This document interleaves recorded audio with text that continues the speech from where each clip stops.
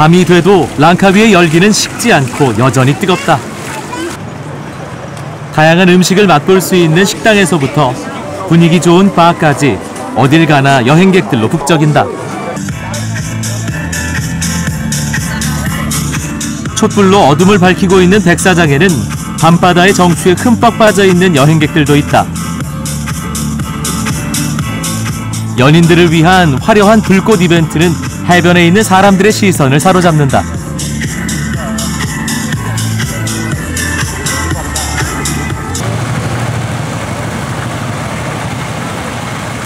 랑카위의 밤문화를 더 느껴보고 싶어서 인근에 있는 야시장에 나가봤다.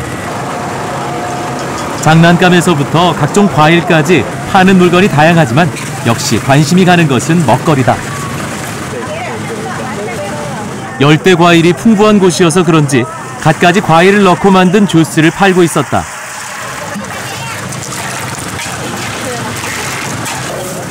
가격은 한 컵에 1링깃, 우리 돈으로 약 600원이다. 이 달콤한 주스는 특히 젊은 여성들에게 인기다. 좋은 냄새에 이끌려 가보니 양념한 고기를 구워서 팔고 있었다. 보기에도 먹음직스럽다. 맛을 궁금해하자 먹어보라고 건넨다. 아주 맛이 좋았다.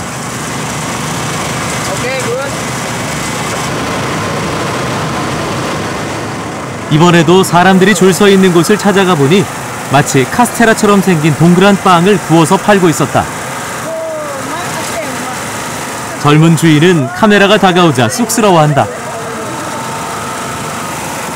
달걀 반죽에 팥을 넣어 만든 빵이 먹음직스러워 보인다.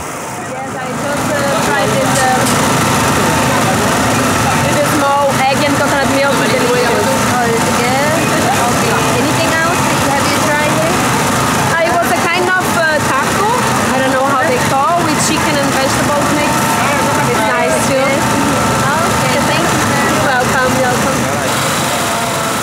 굽기가 무섭게 팔리는 빵은 3개에 1링깃, 한 개에 100원 꼴이다.